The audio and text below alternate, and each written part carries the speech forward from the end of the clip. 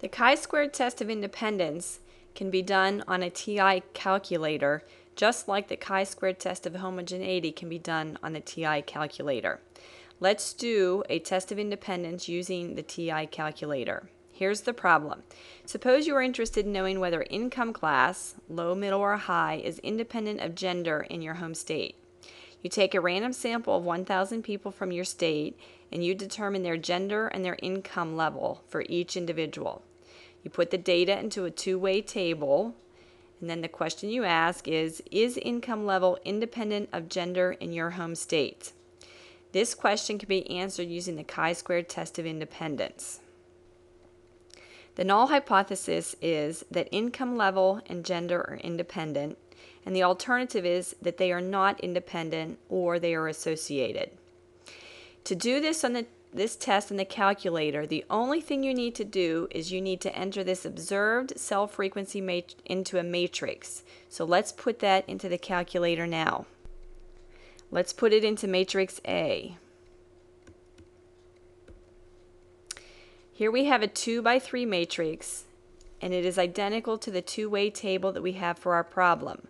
We have 104, 345, and 25 males in each category. We have 225, 290, and 11 females in each of our categories. We're now ready to run the test. So let's go to Stat, over to Tests, down to chi-squared test, hit Enter. The only thing we need is the observed cell frequency counts in matrix A. The calculator will calculate the expected cell frequencies and put those numbers into matrix B. So let's run the test. The test gives us the chi-squared test statistic value. It is 52.1 for this problem. The p-value is 4.7 times 10 to the negative 12, extremely small p-value. And it, the test also gives us the degree of freedom for our chi-squared test statistic. In order to know whether we can use this test, we need to look at the expected cell frequency table. To do that, we need to go to matrix B,